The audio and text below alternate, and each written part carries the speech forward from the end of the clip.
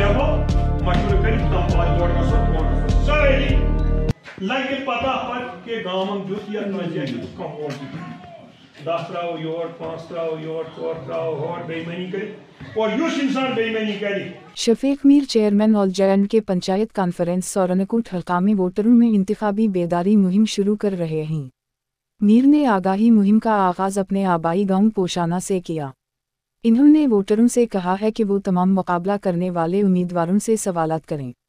میر نے ووٹرز سے کہا کہ وہ تمام روایتی اور نئے امیدواروں سے سوالات کریں، پھر ووٹ کے بارے میں فیصلہ کریں۔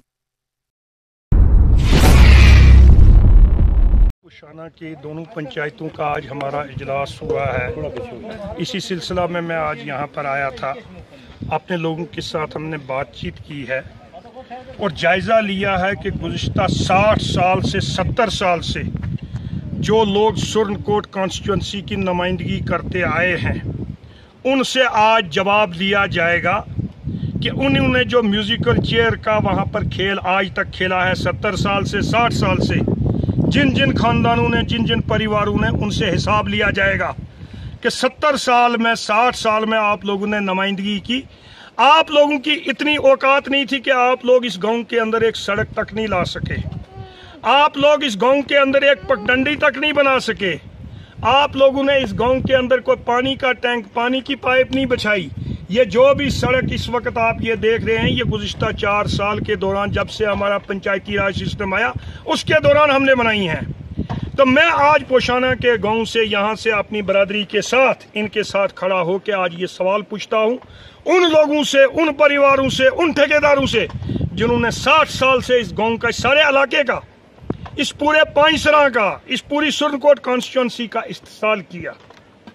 کبھی انہوں نے کسی دربار کے نام پر ووٹ مانگے، کبھی کسی نے شرنی کے نام پر ووٹ مانگے، کبھی کسی چیز پر ووٹ مانگی۔ آج وہ جواب دیں گے کہ ستر سال میں آپ نے اس گاؤں کے اندر کیا کیا، اس کے بعد ووٹ کی بات کی جائے گی۔ یہ ہمارا آج فیصلہ ہوا ہے اور انشاءاللہ تعالی آج پوری برادری نے یہ اعتماد یہاں پر دلایا ہے کہ ہم جو فیصلہ کریں گے، وہی فیصلہ یہاں پر آخری فیصلہ ہوگا چناؤ کے حوالہ سے۔ اور جو بھی کنڈیٹ یہاں پر آنا چاہتا ہے، وہ یہاں پر آئے، پورے گاؤں کو یہاں پر بٹھائے۔ اور جو آج تک لوگوں نے جنہوں نے نمائندگی کی ہے، وہ پہلے حساب دیں کہ ساٹھ سال میں انہوں نے کیا کیا ہے۔ اس گاؤں کے اندر کام گنا کر دکھائیں۔ اگر انہوں نے کوئی چار ٹھیکیدار یا چار چمچے فروخت کرنے والے رکھے ہوئے تھے، ان کو بھی سامنے کریں۔ انہوں نے یہاں پر ترقیاتی کام اس گاؤں کے اندر کیا کیا جن کی اتنی اوقات نہیں تھی، ایک سڑک کا رابطہ نہیں دے سکے۔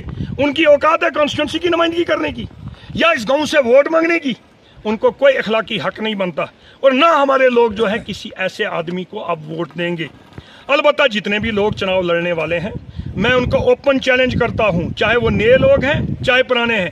نئے لوگ آ کر اپنا نقشہ بتائیں گے، اپنا پلان بتائیں گے کہ اگلے چھ مہینے کے اندر ہم کیا کرنے والے ہیں اس گاؤں کے لیے۔ اور پرانے لوگ ساٹھ سال کا حساب دیں گے، انہوں نے کیا کیا ہے؟